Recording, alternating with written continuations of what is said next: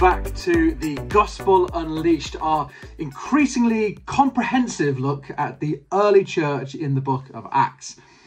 I remember when Steve and I were talking about this series back in December, we imagined it would take about six to eight weeks, but obviously we've gone on a little bit longer than that. But I guess that's what happens when you take time to really explore a book of the Bible. Sometimes it has more to say to you than you first expect. Um, this is actually week 15, and coincidentally, we have arrived at chapter 15, which just so happens to be my favourite in the entire book. I know we've had some exciting chapters already the Holy Spirit's arrival at Pentecost, the healing of the man in his 40s, the angelic jailbreak, the controversial story of Ananias and Sapphira, Paul and Barnabas' first missionary journey last week. It's been quite the adventure, but in my mind, this chapter surpasses them all because this chapter is all about, wait for it, a church meeting. Whoa! Hold on to your hats, folks. It's about to go off. We've got nearly an entire chapter about a meeting. Can you imagine anything more thrilling? Not only that, but we actually get to read the email they sent after the meeting as well. I know, I'm spoiling you. But all joking aside, this meeting is arguably the most important meeting in church history. Its outcome decided the direction of travel for the church for millennia. This wasn't a meeting about whether the toilet should be painted blue or green. No, no. This was far more significant. And the question on the table was this What does it mean for somebody to be saved by Jesus? So let's dive in, shall we? Chapter 15, verse 1 says this Certain people came down from Judea to Antioch and were teaching the believers, Unless you are circumcised according to the custom taught by Moses, you cannot be saved. Unless you are circumcised, you cannot be saved. So we're in Antioch again, and if you cast your minds back to chapter 11, you might recall that some of the believers who'd been scattered after the persecution at the end of chapter 8 ended up here. And as well as preaching the gospel to the Jews, they also preached to the Greeks, and a great many believed their message. And so the church in Jerusalem, which was kind of the head church at the time, sent Barnabas to investigate. Barnabas liked what he saw, went to fetch Paul from Tarsus, and they both stayed in Antioch, teaching and encouraging the believers for quite a while. And it was here that the believers first became called Christians. And that's significant because up until this point, the church had been predominantly Jewish, which made sense if you think about it. For starters, Jesus was Jewish. Hopefully, that's not a, a shocking revelation to you um, his disciples were also Jewish, and they didn't switch religions when they met Jesus. They simply came to believe that Jesus was the promised Jewish Messiah. And the early church was the same. The Jews who heard their message didn't suddenly start thinking of themselves as Christian, they just decided that Jesus was their Saviour. If you had been there and you had asked them, What religion are you? they would have said, I don't speak English but I'm Jewish. And because they were Jewish, they did their best to follow the Torah, God's sacred word to them, and uphold the Jewish traditions. The development of Christianity as a faith that stood outside of Judaism is actually the very thing that we see happening here in the book of Acts. Because for the first time, people who were not from a Jewish heritage were deciding that they too wanted to be followers of Jesus. And this was problematic because these new people, well, they didn't know the Torah. They were outsiders. Outsiders who, by their very presence, were beginning to change the definition of what it meant to be Jewish. The Jewish people recognized that for whatever reason, God was interested in saving these outsiders, but how exactly was that going to work? How does a non Jewish person accept a Jewish savior without first becoming Jewish? And, and what happens when they do? How are they supposed to fit into the existing community. They don't know the rules. They don't dress in the right way. They don't know how to behave in the temple or to pray properly. And some of them are even sinful, working on the Sabbath, eating meat sacrificed to other gods, and so on. And the more people that believe the gospel message, the messier things got. And if these outsiders kept coming in, then the Jewish identity would be diluted to such a point that they might not even be recognizable as a nation anymore. And so they needed a solution. And the answer was obvious simply teach the outsiders how to be Jewish. Step one get circumcised. God had said to Abraham that every male among you shall be circumcised. And so if the Greeks want to join in, that's what they need to do. Makes sense, right? can you imagine being at that meeting? You know, Paul gets on stage and says, We've got some guest speakers this morning, all the way from Judea. Please make them feel welcome. And they get up and they're like, Yeah, so, hi, yeah, good morning. Greetings from Judea. Um, we know that you think Jesus has saved you, uh, and he will. Don't worry. But first, we, we just need all the men to line up by the stage, and and Keith is going to use that knife there to do a quick operation. It'll it'll only sting for a minute, and then there's a couple of other things that we, we need you to change about yourself as well. I don't think there would have been too many amens during that particular meeting. Anyway, in the middle of whatever presentation they were doing, Paul and Barnabas decide to put a stop to it. It says in verse 2 that Paul and Barnabas were brought into sharp dispute and debate with them. And they end up being appointed, along with some other believers, to go to Jerusalem, to the apostles, to the elders, to decide what to do about this.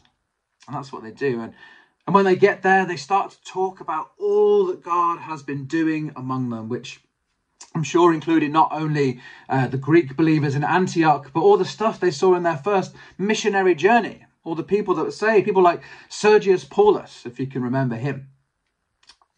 But the Pharisees, who were also believers, argued their corner, saying they need to be circumcised and and required to keep the law of Moses. So Already things are beginning to escalate. Now, we do need a bit of care here. Otherwise, we might end up labeling the Pharisaic believers as the bad guys in the story, but they weren't. Their desire was that these new converts will be able to participate fully in the community. That by changing their appearance and their behavior, they might fit in with everyone else. And what's more, their, their argument was based in the scriptures. They weren't just making this stuff up out of thin air. They actually cared about what God had to say. And they thought they were helping these new converts to live a life that was pleasing to God. So this isn't a meeting between those with ill intentions and those with good intentions. No, no. This is a debate among believers about the nature of salvation, what's truly required for someone to be saved. And so the apostles had to consider these issues carefully to avoid a church split. And after a while, Peter gets up and he says this Brothers, you know that some time ago God made a choice among you that the Gentiles might hear from my lips the message of the gospel and believe, referring to his vision and subsequent experience in the house of Cornelius back in chapter 10, if you're keeping up. God knows the heart and he showed acceptance by giving the Holy Spirit to them, just as he did to us. He did not discriminate between us and them, for he purified their hearts by faith. Now then, why do you try and test God by putting on the necks of the Gentiles a yoke that neither we nor our ancestors have been able to bear? No. No. We believe it's through the grace of our Lord Jesus that we're saved, just as they are. And Peter makes a couple of excellent points here. Firstly, he recognizes that God has already given the Gentile believers the Holy Spirit. In other words, they're already in. It's no use saying you've got to be circumcised to be saved. The stable door is open, the horse is bolted, so to speak. In fact, you might recall him saying back in chapter 10 Can anyone keep these people from being baptized with water? They've already received the Holy Spirit. I mean, at this point, it's it's just a formality. I may have added that last bit, but you get the point. If God has decided to save someone, there's not much that you or anyone else can do about it. But I kind of love his second point even more. He says the reason that Jesus came was to save us from ourselves because we were unable to keep the law. Why then would we insist that others have to first keep the law in order to be saved? That's that's bonkers. It doesn't doesn't make any sense. We'd only be asking them to do something that we couldn't even manage ourselves. No, no. He says what we need is grace. And this opens up the door for people to start to really listen to what God had been doing. Paul and Barnabas tell story after story about how the Gentiles had been experiencing the grace of God for themselves. And when they finished, James, Jesus' brother, gets up and says this Brothers, listen to me. Simon, that's Peter, has described to us how God first intervened to choose a people for his name from the Gentiles. And that's a very provocative way for him to phrase it, because the nation of Israel understood themselves as a people for his name. And then he quotes Amos.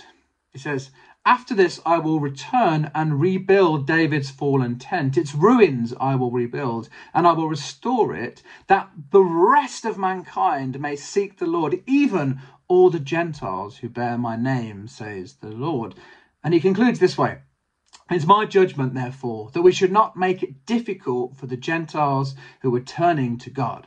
Instead, we should write to them, tell them to abstain from food polluted by idols, from sexual immorality, from meat of strangled animals, and from blood. For the law of Moses is preached in every city from the earliest times and is read in the synagogue every Sabbath. And then he drops the microphone sits back down, and I, I sort of imagine the place erupting into rapturous applause. But I love that phrase. We should not make it difficult for those who are turning to God. I wonder, as I've been telling this story, who have you been identifying with the most? Paul and Barnabas, Peter and James, who seem to be thinking that grace is the only means of salvation, or the visitors from Judea and the Pharisaic believers who believe that there should actually be some appeal to the law. Because whether we want to admit it or not, it's actually really easy for us to make salvation more about the doctrine of our faith than our faith in Jesus. Especially when it comes to those who don't think or act as we do. Do we expect people to change before we can accept that Jesus has saved them? What if the work that God needs to do in someone's heart is actually going to take a really long time? Do we make space for them? Or do we say, well, until you've sorted yourself out, you're not coming in here? What if the way that someone chooses to live their life never lines up with the way that we think they should live their life? What then? Do we write them off because they don't fit into the paradigm of what we think a Christian life should look like? Or do we accept them as they are because we recognize that it's only by the grace of God that we have been saved and we don't have the right to tell others that they need to earn their salvation? It's a tricky one. Because as I say, the Pharisaic believers really thought that they were helping the Gentile believers towards salvation. But what I actually think is happening here is that the church is learning to love like Jesus. The church is learning to choose grace over legalism. Do you remember when that woman was um, caught in the act of adultery and, and hauled before Jesus? The teachers of the law said, Moses has commanded us to stone such a woman. What do you say? What position did Jesus take? Well, firstly, he reminded them that they were all in the same boat. He said, Let any one of you who is without sin be the first to throw a stone at her. And then, when no one did, he said, Woman, where are they? Has no one condemned you? No, sir, she replied. then neither do I condemn you. Now go and leave your life of sin. And whether she did or not, he still died in her place. Grace and mercy. Love above legalism and law. I think it's interesting what James asks the Gentile believers to abstain from food polluted by idols, sexual immorality, meat of strangled animals, and from blood. Why these specific things and not others? Well, the rules seem to have been taken from Leviticus 17 and 18. And given the context, I think what James is trying to do is find a way for the church to remain together by learning to love each other well. Essentially, what he's asking the Gentile believers to do is refrain from practices that the Jewish believers would have found offensive. Something that Paul was a, a big advocate of. He once said that um, about eating meat sacrificed to idols. If what I eat causes a brother or sister to fall into sin, I'll never eat meat again. Personally, he, he had no issue with it, but he recognized that others did. And so he chose what he describes as the still more excellent way of love. And the rules that James give, they've got nothing to do with salvation. They're about showing respect to each other, learning to make room for those who think differently to you, and to recognize the work of Jesus in everyone. How good are we at that? I'd love to be able to conclude this morning's talk by saying that from that moment on, the church learned its lesson and always acted in the most loving way, making space for everyone. But Actually, I think this is a lesson that the Holy Spirit has needed to reteach many, many times throughout church history. As I read this chapter again this week, I was reminded of the tireless campaigning of Clarkson and Wilberforce as they sought to abolish the slave trade in Britain. It was hard for Britain to give up on the slave trade because it was one of its most profitable businesses, and so all sorts of ways were found to justify it, one of which was the Bible passionate Christians would argue for its continuation, finding all the approval they needed in Scripture, whether it was really there or not. But the Quakers said, no, no. This is immoral. It's a, a blight on humanity, evil. And after many years of campaigning, the slave trade was finally abolished in 1807. And the church had to look again at the scriptures and realize that perhaps it was not as they'd first thought. Perhaps the message of freedom and salvation was actually for everyone. And there's been other groups of people too that the church has kept at arm's length throughout history, nearly always to its detriment. I thank God that we belong to a church that embraces female leadership. Just as we see time and time again in scripture, people like Deborah and Miriam and Esther and Maria and Lydia and Phoebe and Priscilla and so on and so on. But it hasn't always been the case. There have been occasions where the church has even fought amongst itself over the correct application of Scripture and ended up tearing itself apart as a result. Have we learned the lesson yet? Salvation is for everyone. Jesus is for everyone. We need to learn this individually and as a church so that we can be the kind of place that does not make it difficult for those who are turning to the Lord, no matter who they are. I love Paul's words in his letter to the Galatians. He says, So in Christ Jesus, you are all children of God through faith. For all of you were baptized into Christ and have clothed yourselves with Christ. He says, There's neither Jew nor Gentile, neither slave nor free, nor is there male or female. Those were the divisions that existed in his day. I wonder who would be on that list in our day?